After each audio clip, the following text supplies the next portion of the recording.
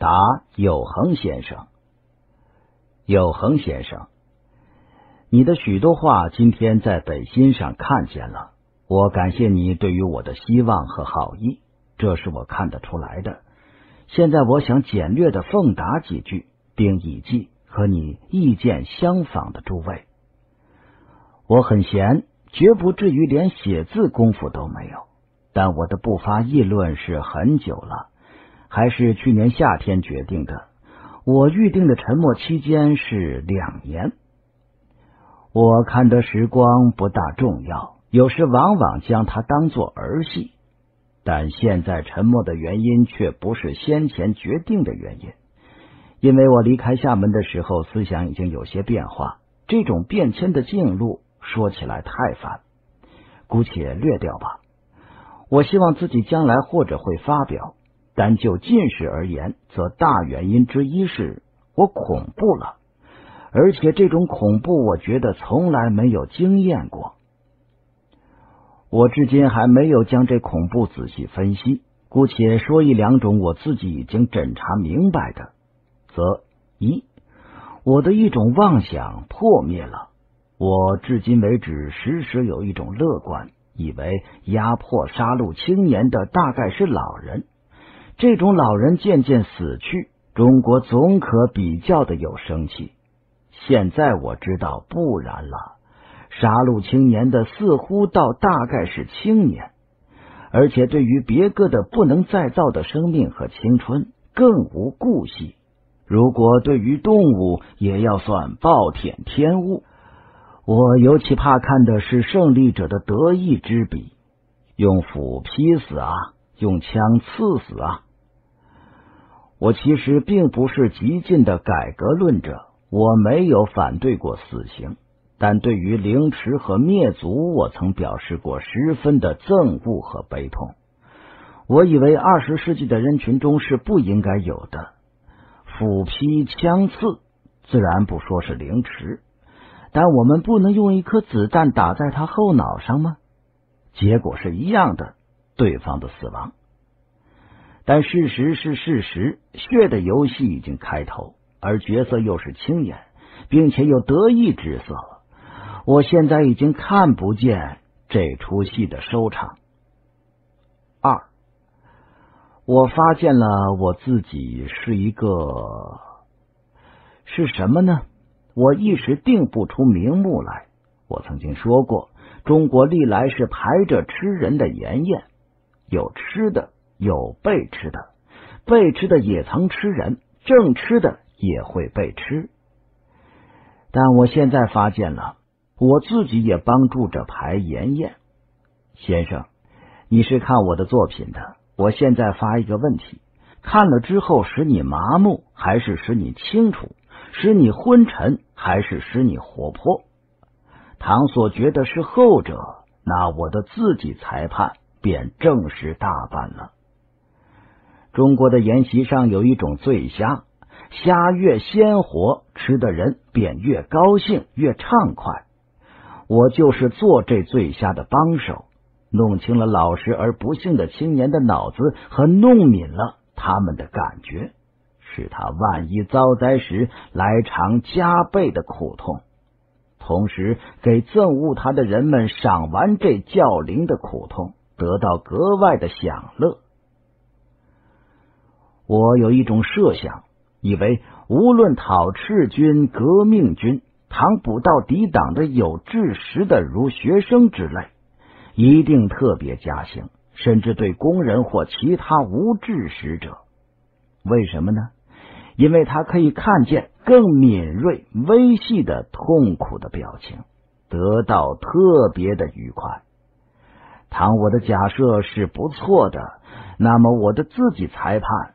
便完全证实了，所以我终于觉得无话可说。倘若再和陈元教授滞留开玩笑吧，那是容易的。我昨天就写了一点，然而无聊。我觉得他们不成什么问题。他们其实至多也不过吃半只虾或虾几口醉虾的醋。况且听说他们已经别离了最佩服的孤童先生。而到青天白日旗下来革命了。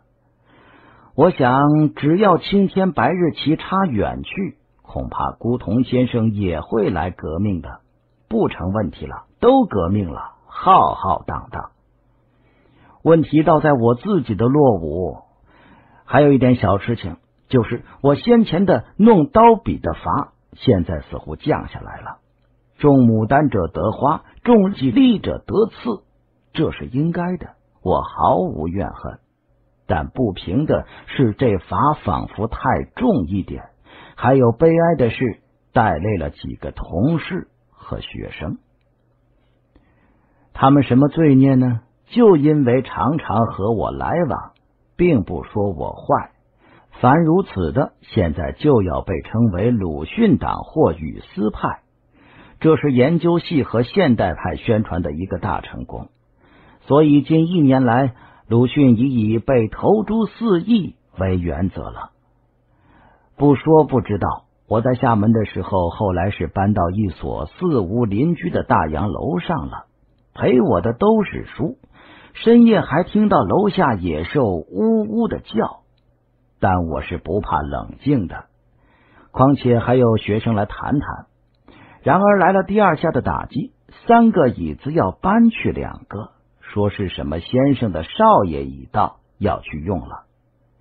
这时我实在很气愤，便问他：倘若他的孙少爷也到，我就得坐在楼板上吗？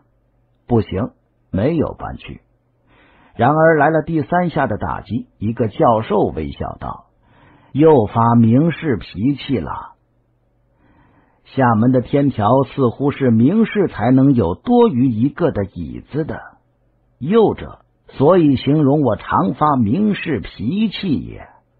春秋笔法，先生，你大概明白了吧？还有第四下的打击，那是我临走的时候了。”有人说我之所以走，一因为没有酒喝，二因为看见别人的家眷来了，心里不舒服。这还是根据那一次的明示脾气的。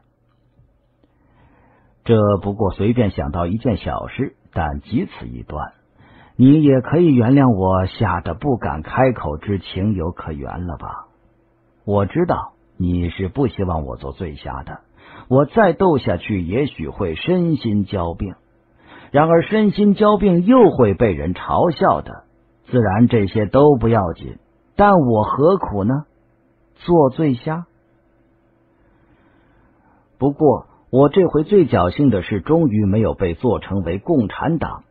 曾经有一位青年想以独秀办新青年，而我在那里做过文章这一件事，来证成我是共产党。但即被别一位青年推翻了。他知道那时连独秀也还未讲共产，退一步亲共派吧，终于也没有弄成功。倘我一出中山大学，即离广州，我想是要被排进去的。但我不走，所以报上逃走了，到汉口去了的闹了一通之后，倒也没有事了。天下究竟还有光明？没有人说我有分身法，现在是似乎没有什么头衔了。但据现代派说，我是雨丝派的首领，这和生命大约并无什么直接关系，或者倒不大要紧的。只要他们没有第二下，倘如主角唐有人似的又说什么莫斯科的命令，那可就又有些不妙了。比一华，话说远了，赶紧回到落伍问题去。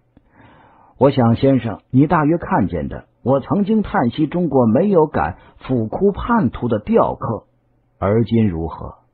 你也看见，在这半年中，我何尝说过一句话？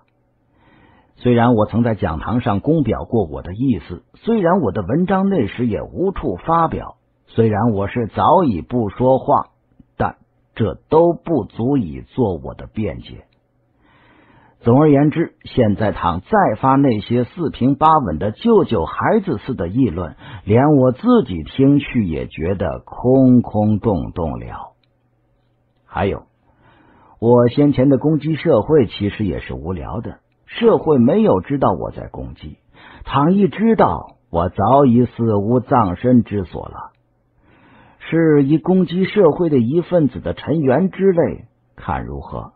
而况四万万也在。我之得以偷生者，因为他们大多数不识字，不知道，并且我的话也无效力，如一箭之入大海。否则，几条杂杆就可以送命的。民众的伐恶之心，并不下于学者和军阀。近来我悟到，凡带一点改革性的主张，倘于社会无赦，才可以作为废话而存留。万一见效，提倡者即大概不免吃苦或杀身之祸。古今中外，其魁一也。即如目前的事，吴志辉先生不也有一种主义的吗？而他不但不被普天同愤，且可以大呼打倒严办者，即因为赤党要实行共产主义于二十年之后，而他的主义却需数百年之后或者才行。由此观之，近于废话故也。人哪有遥管十余代以后的灰孙子时代的世界的闲情别致也在？话已经说的不少，我想收烧了。我敢于先生的毫无冷笑和恶意的态度，所以也诚实的奉答。自然一半也借此发些牢骚，但我要声明，上面的说话中我并不含有谦虚。我知道我自己。我解剖自己，并不比别人解剖别人留情面。好几个满肚子恶意的所谓批评家竭力搜索，都寻不出我的真正喉。所以我这回自己说一点，当然不过一部分，有许多还是隐藏着的。我觉得我也许从此不再有什么话要说。恐怖一去，来的是什么呢？我还不得而知，恐怕不见得是好东西吧。但我也在救助我自己，还是老法子：一是麻痹，二是忘却。一面挣扎着，还想从以后淡下去的淡淡血痕中看见一点东西，疼在纸片上。鲁迅，九四。本篇最初发表于一九二七年十月一日，上海《北新周刊》第四十九、五十期合刊。